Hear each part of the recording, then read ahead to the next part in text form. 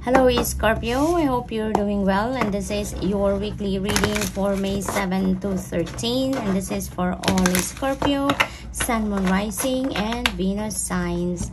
General reading po ito kaya hindi po ito magra-resonate sa lahat. Maraming salamat po sa inyong mga comments at sa inyong pag-subscribe sa ating channel. Thank you for your support. Kung bago po kayo rito, hello and welcome. Please subscribe, like, share, and hit the notification bell para updated kayo sa mga readings. Thank you. Naway lagi po kayong safe at healthy lamang. Yun po ang aking laging dasal para sa inyong lahat is Scorpio. Una mensahe ni Scorpio ay success. Napakaganda, no? Secret Spring and we have number 34. So, success, tagumpay sa kung ano mang area ng buhay ninyo ito.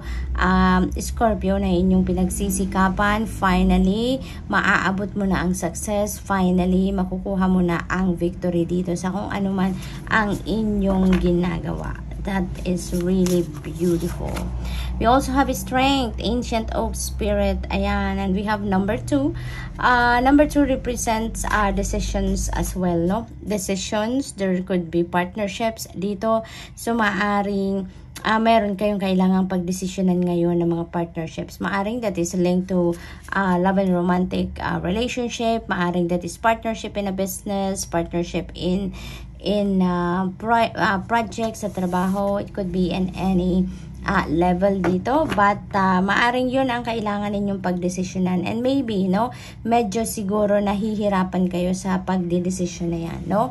Uh, Uh, kaya naman, I feel dito na huwag kayong mag-alala, huwag kayong patitibag dyan sa hirap na nararamdaman ninyo. It's because you will be uh, blessed with inner strength. Okay? You will be given inner strength dito para makayanan ninyong harapin at solusyonan ang kung ano man ang kailangan ninyong pagdesisyonan ngayon. Okay? Kapit ka lang, have faith, uh, magkaroon lang kayo ng hope na pasasaan ba at matatapos din yan. Makakapag-desisyon ka din, ma maiisip mo din kung ano ang tama mong gawin. Okay?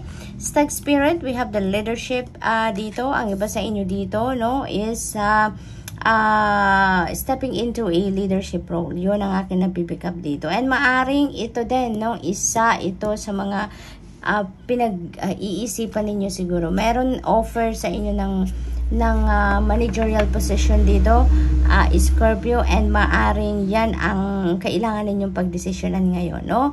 Maaring nagdadalawang isip kayo, no? Kung kukunin ninyo yan, maaring there are so many other factors na kailangan ninyong pag-isipan, kaya naman, uh, maaring hindi pa kayo nakakapag-desisyon, hindi pa ninyo ina-accept yung offer. Maaring ganun, no? But, um, isipin mong mabuti, okay?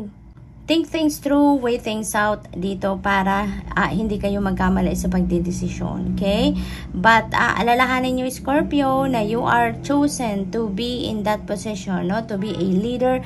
It's because ibig sabihin may potential ka. Okay? So wag una-una wag mo pagdudahan ng iyong sarili, no? Kung kakayanin mo ba ang ang trabaho ng isang leader, no? Dahil hindi ka mapupunta sa lugar na yan, hindi ka mabibigyan ng offer kung wala kang kapasidad para gawin ang trabaho ng isang leader. Hindi ka ma mapipili, dyan hindi ka mabibigyan ng offer kung wala kang potensyal. Okay? Kaya unang-una, wag mong pagdudahan ang iyong sarili. Okay? Maaring there are other factors, like siguro maaring malilipat ka ng ibang department, malilipat ka ng ibang opisina, siguro malilipat ka ng ibang location, siguro kaya yun ang maaring pinag-iisipan mo ngayon, no? So, uh, ganun siguro. So, we have gratitude. I am thankful for this life and the opportunities that it presents. Ayan. So, I feel dito, Scorpio, that you are really go uh, going to be feeling grateful sa lahat ng blessings, no? Sa lahat ng blessings na natatanggap mo, your inner strength na binibless sa'yo, yung offer of uh, managerial position, ibig sabihin, pag kinuha mo to, yeah, mas malaking responsibilidad pero mas malaking kaperahan din, 'di ba? Mas ma a bigger compensation ang makukuha ninyo dito. So that is still uh, a blessing, ba? And the success na makakamit ninyo ngayon is Scorpio, no? So you are really going to be very very grateful. That is what I am picking up for some of you. Talagang magpapasalamat ka dito ng sobra-sobra sa mga blessings na to na nararamdaman ninyo. Judgment, I understand that everyone has their own unique path and challenges. Ayan. So, nothing to compare, ba? Diba? Um, you can't compare. Unang-una, kung ano man ang inyong pinagdadaanan sa pinagdadaanan ng iba. Kung ano ang success na nakukuha mo ngayon, hindi pwedeng i-compare sa success ng iba. It's because iba-iba tayo ng sitwasyon, iba-iba tayo. We're all unique, di ba? We're all unique. Although pare-parehas tayo, we are all created equal in terms of of skills, talents, and gifts. Lahat tayo mayroong ganon. We are all given the same. Pero, uh, iba-iba lang tayo ng approach, 'di ba? Iba-iba tayo ng atake sa buhay. Kaya naman, iba-iba tayo ng kinalalagyan, iba-iba tayo ng pinagdadaanan, iba-iba tayo ng mga challenges sa buhay. 'Yon ang pagkakaiba natin. Iba-iba tayo ng path, no? Kaya uh, walang pwedeng ikumpara, no, sa sa mga nangyayari uh, sa atin at sa ibang tao. And I know that you understand that, no? You are aware of that. So, tignan natin kung ano pa. Indecision. I use my intuition in all aspects of life. Ayan. So, eto nga. May, may indecision nga. No? May indecision nga na nangyayari dito kay Scorpio. And I feel that that is related to this leadership role. No? Maring ito yung uh, uh, pinag-iisipan ninyo ngayon. Ito yung uh, sitwasyon ninyo ngayon, uh, Scorpio, no? Na pinag-iisipan ninyong mabuti. Tinitignan muna ninyo kung kung uh, pasok no sa mga bagay-bagay na, na uh, kailangan ninyo. Maring may criteria din kayo dito na tinitignan, no? Kung talagang uh, pasok siya sa criteria ninyo. And there are other factors, no? Uh, kaya naman ang sinasabi ng card na to na tune into your intuition, no? Tune into your intuition dahil yun ang makakatulong sa iyo ng malaki kung ano na ang iyong gagawin. Because um, lagi at lagi kang dadalhin ang iyong intuition sa tamang daan, no? Sa tamang direction. Kaya yun ang advice sa iyo. Tune into your intuition. So, tignan natin kung ano pa ang ganap para kay Scorpio. We have 10 of Cups. Yay!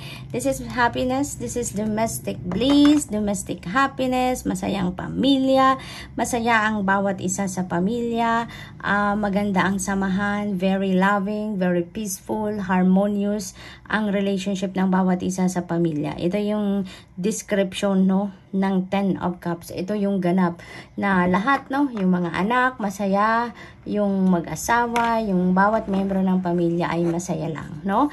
It's because, no, nandiyan na kung ano yung kailangan ninyo, kung ano yung gusto ninyo sa buhay, kailangan ninyo sa buhay, uh, it is all provided na sa inyo. Meron na kayong hawak nyo na, kumbaga, no? Kaya masaya lang ang lahat. Biglang bumagsak ang malakas na ulan, Scorpio. so, I hope na narinig pa rin ninyo ng malinaw, no? ang sinasabi ko dito. So parang kino-confirm ng ulan, no, ng malakas na ulan ang blessings na parating sa inyo dahil marami kayong blessings ngayon eh, no? Lalong-lalo na ito. This is a lot of blessings, no? This is beautiful blessings. It's uh, dahil, you know, masaya ang lahat.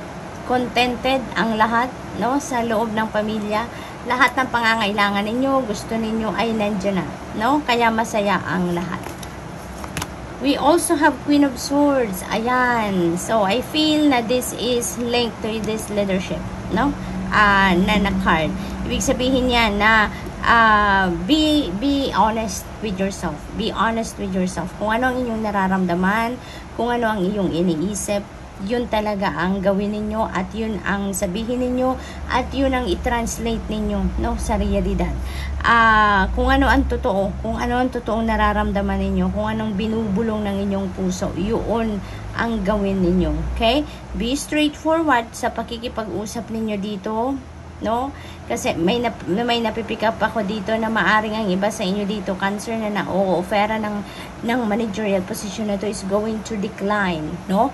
Yun ang aking napipick up just for some of you. Kaya, uh, inaanyayahan din kayo dito na sa pagsasalita ninyo, sa pakikipag-usap ninyo, kahit i-decline ninyo ang position na yan, uh, maging, maging, ano kayo, maging transparent kayo para mas maintindihan kayo ng, ng magiging kausap ninyo dito ang inyong sitwasyon. Okay?